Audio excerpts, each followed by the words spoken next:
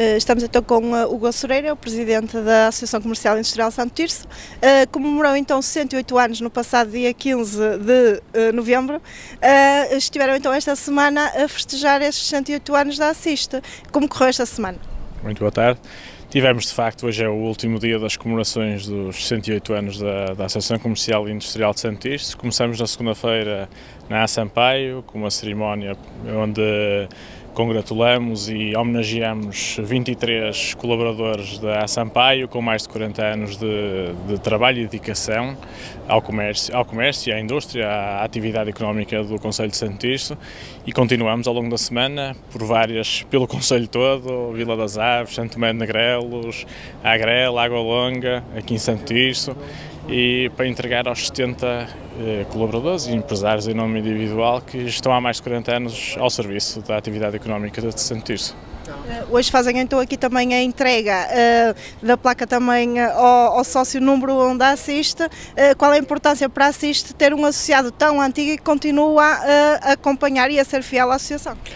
É, é uma grande honra para nós ter o, o Celareno, o associado número 1 um da, da Assiste, há mais de 80 anos, eh, aqui ao serviço do comércio de, de, de Santo Tirso. É uma verdadeira honra. Uh, hoje também fazem a inauguração então de uma exposição que vai estar uh, patente em algumas lojas aqui da, da, cidade. Em que consiste essa exposição? Foi um desafio lançado por De Velasco, o escultor Domingos Fonseca, uh, tirciense, apesar de ser de Samed Coronado, era tirciense na altura em que nasceu, quando fazia parte do Conselho da Trofa, fazia parte do Conselho de Santo Tirso, lançou-nos um, um desafio que gostaria de de mostrar alguma das, das suas obras, que, que tem muitas e, e, e bonitas, lançou-nos um desafio, gostava que eh, se podíamos arranjar umas, uh, umas casas com, com montras para eles uh, mostrar um bocado do seu trabalho.